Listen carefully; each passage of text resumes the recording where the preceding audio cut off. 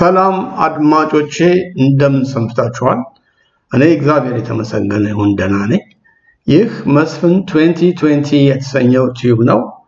በዚህ tube እንግዲህ ለእናንተ ይጠቅማል የሚለውን መረጃ ይዤ በሳምንት አንድ ጊዜ ብቅ እላለሁ ማለት ነው።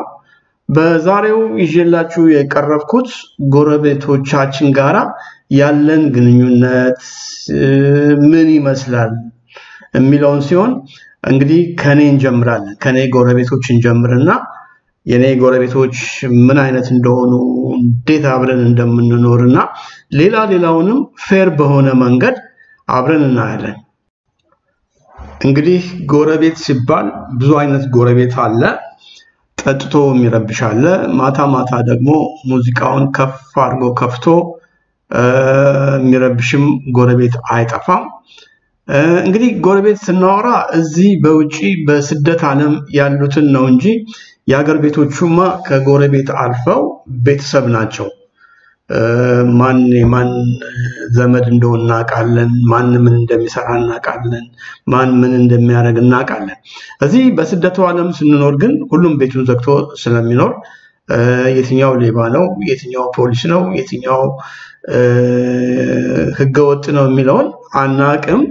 ግን አብረን ስንኖር ደግሞ ግድ የሚል ነገር ቢኖር ማወቅ አለብን ማን ምን እንደሆነ፣ ከማን ጋር ነው አንድ ቤት ውስጥ የምንኖረው፣ አንድ ትልቅ ቤት ውስጥ የምንኖረው ከማን ጋር ነው የሚሉትን ማወቅ የግድ ይላል።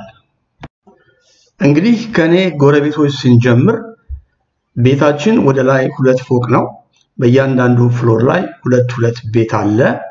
በጠቅላላው ስድስት ቤቶች አሉ ማለት ነው። ስድስት ቤተሰብ ነን ማለት ነው። ስድስት family ዎች ነን ማለት ነው።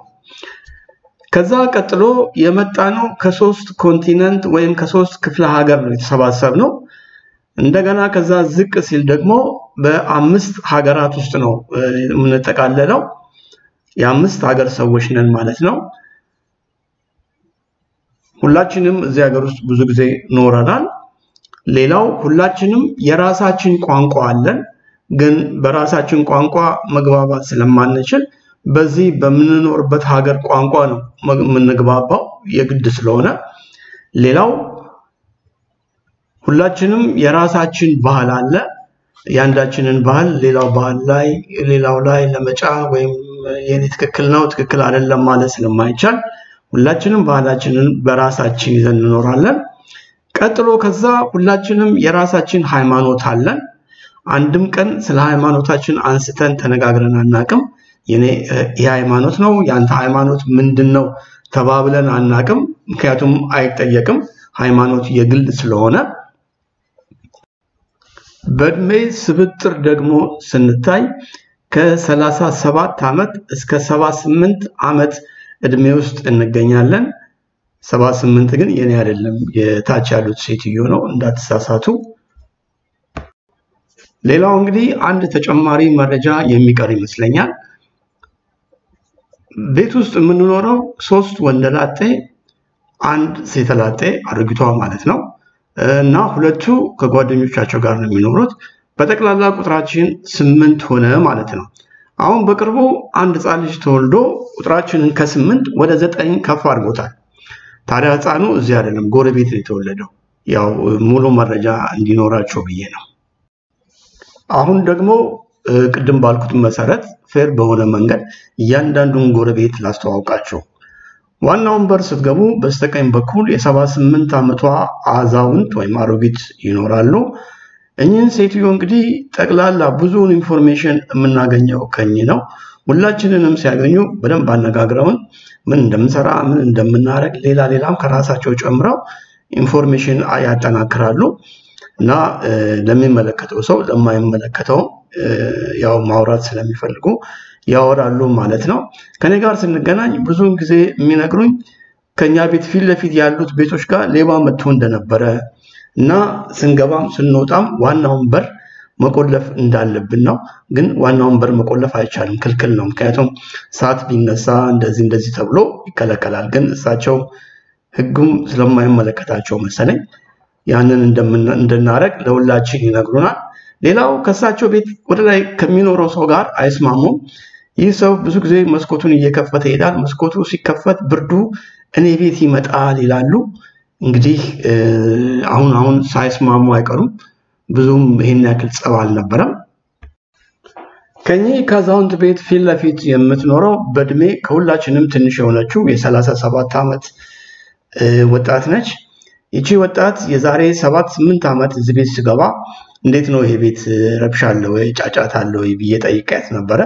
እሷም እንዳለችኝ ምረብሸው እኔ ነበርኩኝ፣ አሁን ግን እየተውኩኝ ነው ብላኝ ነበር። እውነቷን ነው። ከዛ በኋላ ድምጿንም አልሰማሁም። ለነገሩ ከዛም በፊትም ስለማላቅ አልሰማሁም ነበረ። አሁን ግን ተሰብስባ ተቀምጣለች። ድምፅ የለም፣ ምንም የለም ማለት ነው። እግዚአብሔር ረድቷታል። ሌላው ከአሮጊቷ ቤት ላይ የሚኖረው ወጣት ነው። ይህ ሰው ታታሪ ሰራተኛ ነው።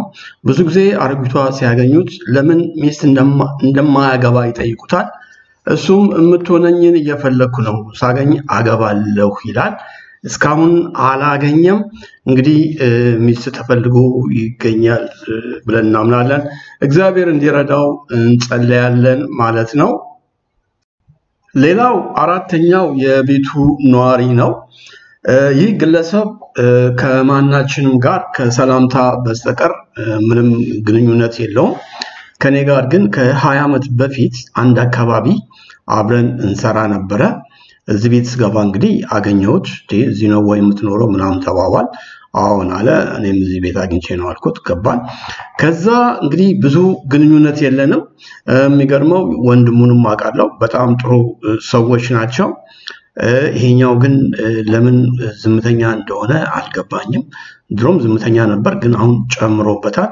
ሌላውን ሰው እስካልነካ ድረስ የሌላውን መብት እስካልተጋፋ ድረስ ዝምተኛ መሆን እንግዲህ በራሱ አያስከስስም። ሌላዋ ከአንድ ዓመት በፊት የተደባለቀችው ስፓኒሿ የኔ ጎረቤት ነች። እቺ ስፓኒሽ በጣም በጣም ከሁላችንም የተለየ ሰው ነች። የምትኖረው ከጓደኛዋ ጋር ነው። ልክ ከመኪና እንደወረደች ስልኳን ይዛ ጠቅላላ ቤቱን በደንብ በጩኸት አድምቃው ነው የምትገባው። እሷ ባትኖር ቤቱ ጸጥ ረጭ ያለ ነው። ግን እሷ ከገባች ወዲህ ቤቱን በደንብ ታደምቀዋለች። ጮክ ብላ ነው የምታወራው። ሁል ጊዜ የምታወራው አላት። ያው ስፓኒሽ ስለማልችል ምን እንደሆነ አላውቅም እንጂ ሁሌ ታወራለች። አንዳንድ ጊዜ ስልኳንም ባትይዝ ታወራለች። ስልኳንም ባትይዘው ብትረሳውም ዝም ብላ ታወራለች። አሁን ግን ልጅ ስለወለደች ከልጇ ጋር ማውራት ጀምራለች። ልጁ ገና አንድ ዓመት አልሞላውም። እሷ ምንም ችግር የለባትም። ከልጁ ጋራ ብዙ ነገር ታወራለች። ታሪክ ምናምን ነው ምስል የምታወራው። ብቻ ቤቱን ሞቅ የምታደርገው እሷ ነች። እኔን ምንም አትረብሸኝም። የሚረብሸኝ የነበረው እሷ ከጓደኛዋ ጋር እዚህ ቤት ከመግባታቸው በፊት ቤቱ ለአንድ ዓመት ከምናምን ባዶ ነበረ። ያ ነበር ትንሽ የሚረብሸኝ። አሁን ግን የእሷ ጩኸት ሁላችንም አይረብሸንም። ምክንያቱም እሷ ባትጮህ ኖሮ ቤት ውስጥ ሰው መኖሩም አይታወቅም። አሁን ግን የእሷ መኖር አሁን ደግሞ ልጅ ተወልደዋል። ከልጇ ጋር መሆን ቤቱን ትንሽ ደመቅ ያደርገዋል ማለት ነው። በመጨረሻ እንግዲህ ሁላችንም ከአሮጊቷ በስተቀር ሁላችንም ሰራተኞች ነን። ጠዋት ወጥተን ማታ ነው የምንገባው። የቀረሁት እኔ ነኝ። ስለ እኔ ያወራል ብላችሁ አስባችሁ ከሆነ ተሳስታችኋል። እኔ ኢትዮጵያዊ ነኝ። ኢትዮጵያዊ የሄደበት ቦታ ሁሉ ተስማምቶ የመኖር ችሎታ አለው። በተለይ እኛ ቤት እዚህ ቤት እንግዲህ አምስት ናሽናሊቲ አንድ ላይ ይኖራል። አንድ ላይ የሚያኖረን የህግ የበላይነት ነው።